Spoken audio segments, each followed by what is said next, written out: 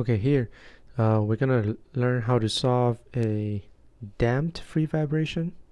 So in this case, we have an additional ter term due to viscous damping, and we also know the initial position and initial velocity. And in order to simplify our discussion, I would like to first transfer these um, equation into a standard term uh, format to omega zeta x single dot plus omega n square x equal to 0. So comparing these two equations, you can see that we divide both side by by m, and then we'd have m double dot plus c over m single dot plus k over m x equal to 0. So let's compare these two equations. You're going to find out your omega n is the same thing, square root k over m, and then your damping ratio, zeta, is going to be c over 2 mk. Alright? So that's how we convert your mck into zeta and omega n. As you can see here, we reduced the number of um, parameters. Alright, so the first thing, we also assume x equals to a e lambda t. The same, that's the same, uh, so we assume the solution is in the same format as the uh, free vibration. And then as you can tell, we just plug the x back into the original equation. We plug it into this equation. And your x double dot again is a lambda square e lambda t. Your x single dot is just a lambda e lambda t. And then you we have a lambda square e lambda t plus a lambda e lambda t times the coefficient 2 omega n zeta and also the coefficient omega n a e lambda t. So that should give us 0 so based on the same concept we can find out some of the common terms like a e lambda t they're common. We can cancel it out. So after doing so we have lambda square plus 2 omega n zeta lambda plus omega n square equal to 0. So that's just a, a uh, second order equation. So that means we have two solutions. So lambda 1 is minus zeta omega n plus omega n zeta minus 1 and lambda 2 equal to minus zeta omega n minus omega zeta minus 1 okay so that's the solutions we find for lambda. So as you can see here we have to consider three different uh, conditions. So the first condition of the first case number one your your zeta is smaller than 1 okay? And also your damping is always positive value so that means your zeta is always greater or equal to 0 so your case one, number 1 that means your zeta is between 0 and 1 and then we call this condition as under damped condition and then if you check, go back and check your lambda 1 and lambda 2, you can first you can tell your lambda 1 doesn't equal to lambda 2. The second thing you can tell is your lambda 1 and lambda 2 are complex numbers.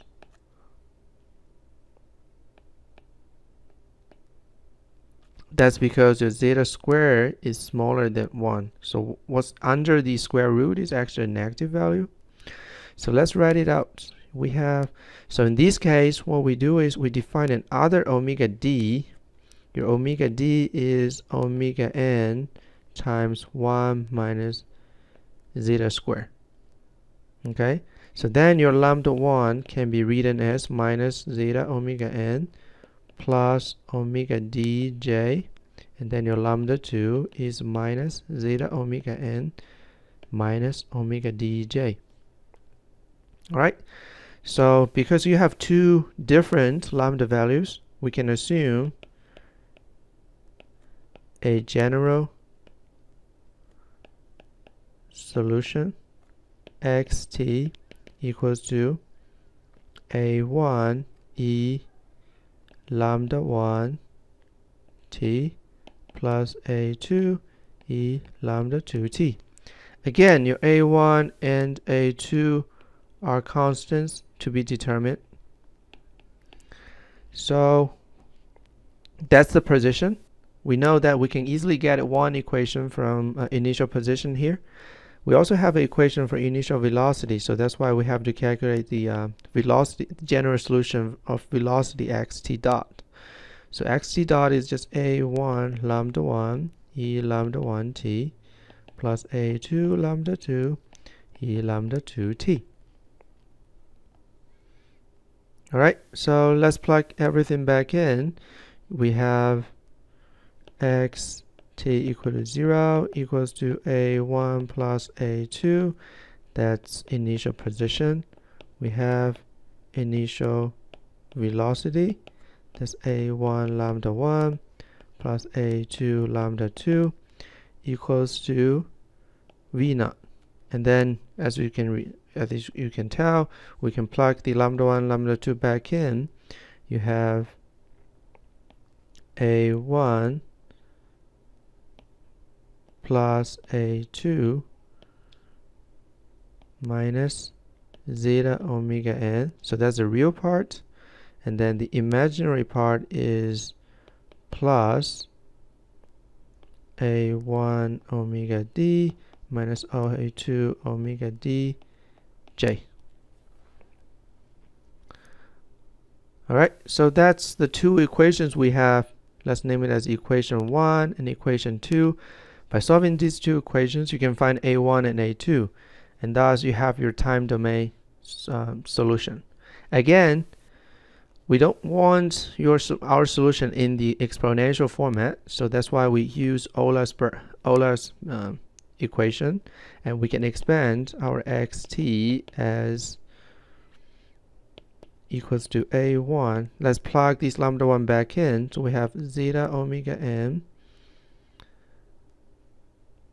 plus omega dj times t and plus a2e minus z omega m minus omega dj times t.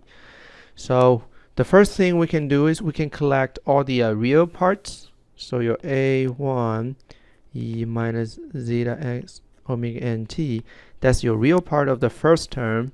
And then we also find the real part of the second term. Alright, and then what's left behind are two imaginary parts. Omega d jt plus a2e minus omega d jt. And then as you can see here, a1 plus a2 is just x naught. So the first term becomes x naught times e minus zeta omega n t. And then the second term we can use Euler's uh, expression. So we have a1 cosine omega dt plus a2 sine omega dtj. That's what we got from the first term. And then the second term is plus a2 cosine omega dt minus a2 oh sorry I found a mistake here should be a1 a2 sine omega d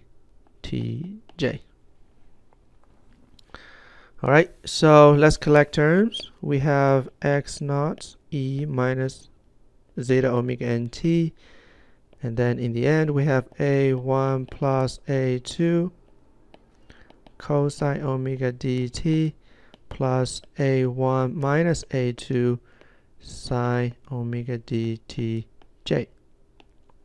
All right, so in this case, we can go back to equation 1 and equation 2 again. As we can tell before, your x a1 plus a2 is just x naught. And then we just need to find what is a1 minus a2. Okay, let's go back to the uh, to the equation here. Equation 1 and equation 2. I, I would like to skip it and you can do your own calculation. Your a1 minus a2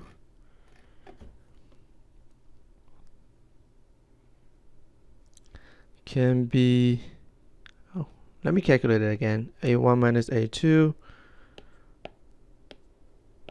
times omega dj and minus a1 plus a2 omega n zeta. That equals to v naught. That's your equation number two. And then your equation number one gives you the summation of a1 and a2 that's x naught so you plug your second equation, uh, your equation 1 into equation 2, and you have a1, a2, omega dj equals to v naught plus omega n x naught zeta. Alright, so then your a1 minus a2j equals to v naught plus omega n x naught zeta over omega d.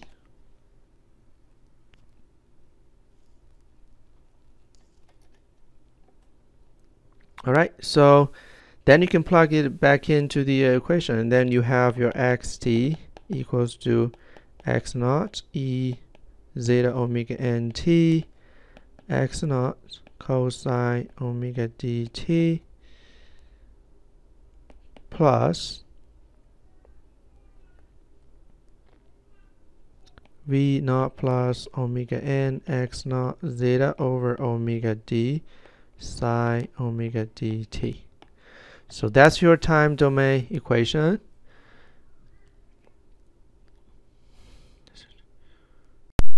So then once we have these two equations, let's do some magic.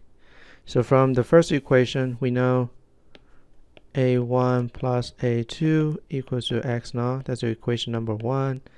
And then from the second equation, we have a1 minus a2 omega dj equals to a1 plus a2 zeta omega n. That equals to x naught zeta omega n. That's your new e equation number two okay? So once you have this we can so we can plug in the initial conditions and and solve the equation. But in we don't we usually don't want the uh, solution in exponential format. So that's why we have to use Euler, Euler's theory to expand these expression to convert these expression uh, expression to time uh, sinusoidal waves. All right, so let's plug in lambda 1 and lambda 2. We have a1 e minus zeta omega n t minus omega dtj. Oh actually plus. Let's see. Yeah that should be plus. And then also plus a2 e minus zeta omega nt minus omega dtj. All right so we plug your lambda 1 and lambda 2 back uh, replace the lambdas by the uh, parameters. And then we see that this term has no complex j in it so we can assume that's a complex that's a real part. So we can collect this term e minus zeta omega nt and move it out. We have a1 e omega dtj plus a2 e omega dtj negative. Okay so here you can see it's very similar to our free vibration uh, undamped free vibration. So let's write it out. Minus zeta omega nt and then we can write this as a1 plus a2 cosine omega dt plus a1 minus a2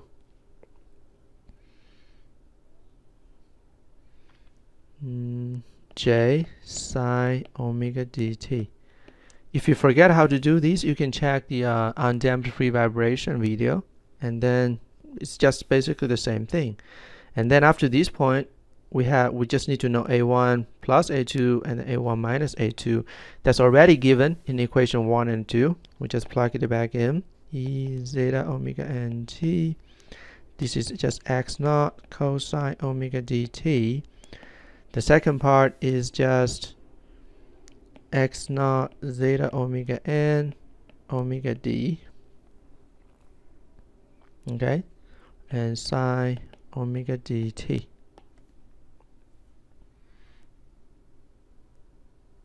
Oops.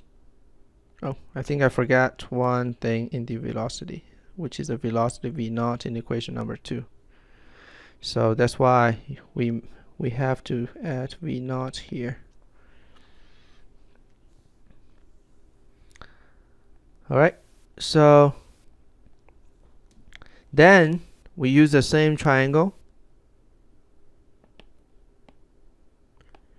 The coefficient of your sine term, this coefficient, is going to be placed on the real on the x-axis. That's a v naught plus x naught zeta omega n over omega d. And then the coefficient of your cosine x naught, that's your vertical displacement. And then as we uh, talked about previously, this is your new amplitude. This is your phase phi. And then we can write rewrite this expression as a e lambda omega nt sine omega dt plus phi.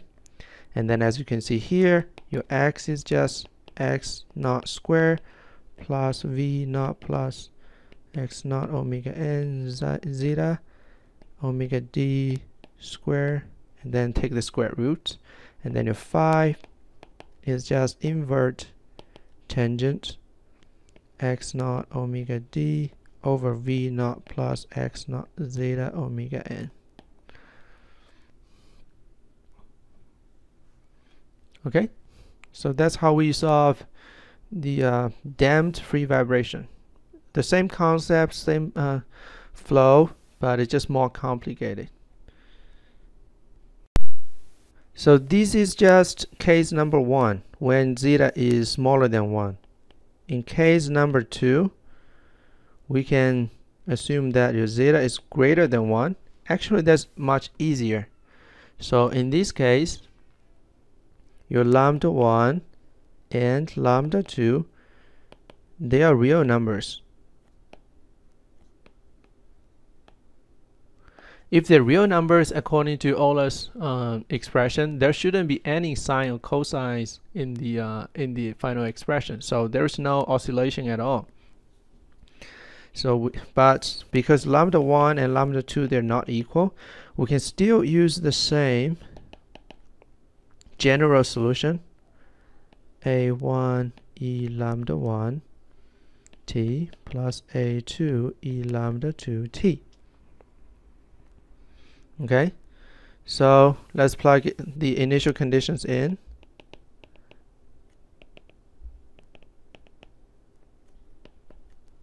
Xd and xd dot. If you want we can write this xd dot out is a1 lambda 1 e lambda 1 t plus a2 lambda 2 e lambda 2 t so then we have a1 plus a2 equals to x naught, the same thing, and a1 lambda 1 plus a2 lambda 2 equals to v naught.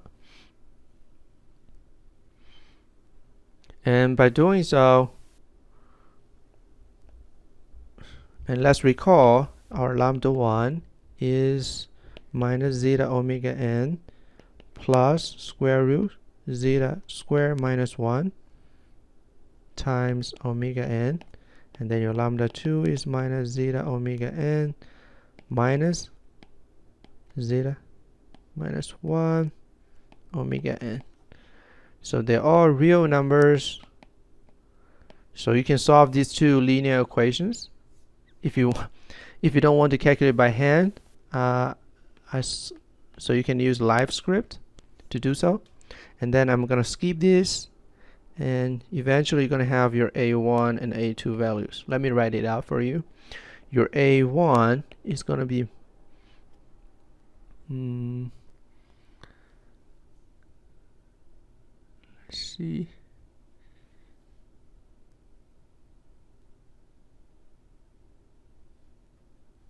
your A1 is pretty long. Is minus V naught plus minus xi zeta? Zeta square minus 1 omega n x naught over 2 omega n zeta square minus 1 okay? So your a2 is positive v naught plus zeta plus zeta minus 1 omega n x naught over 2 omega n zeta minus 1. So that's your solution of a1 and a2. You just plug these constants back into your xt, then you get a time domain uh, relationship. So during the class, we're going to briefly talk about how, how it looks like uh, in time domain. All right. Actually, there is another special case, case number 3. When your zeta is exactly 1, and then let's look at our lambda 1 and lambda 2. You can see the lambda your the the second term becomes 0. So your lambda 1 is minus zeta omega n. Your lambda 2 is also minus zeta omega n. And then in this case, you have lambda 1 equal to lambda 2. So if you recall your um, ODE class, in this case, you have two identical characteristic roots. So in this case, we have to do something special for the uh, general solution. So your gen general solution should be a1 e lambda 1 t plus a2 t e lambda 2 t. So let's pay attention here. You have to add a t in the coefficient. Otherwise, you won't be able to solve the problem. Okay. So once you have this general solution, the same thing, we need to calculate the velocity a1 lambda 1 e lambda 1 t.